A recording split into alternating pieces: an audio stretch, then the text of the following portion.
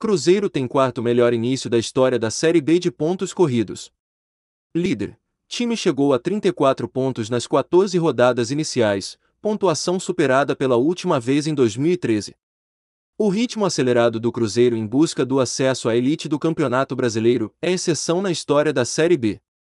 Em grande fase, o líder desta edição tem o quarto melhor início da competição desde que o formato de disputa passou a ser pontos corridos, em 2006.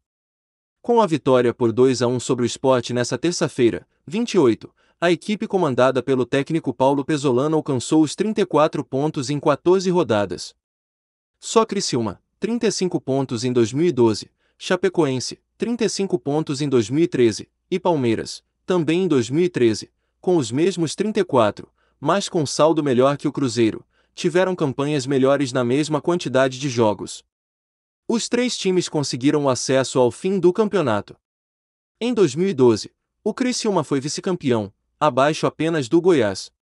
No ano seguinte, Palmeiras e Chape foram, respectivamente, primeiro e segundo colocados ao término da competição. A campanha do Cruzeiro até aqui tem números impressionantes. São 34 pontos, com 18 gols marcados, apenas 6 sofridos e saldo de 12. A distância para o vice-líder Vasco é de 4 pontos, em relação ao quinto colocado Sport já é de 13. Detalhe: o time celeste tem um jogo a menos que os concorrentes na briga pelo acesso. O próximo compromisso na Série B já é nesta sexta-feira.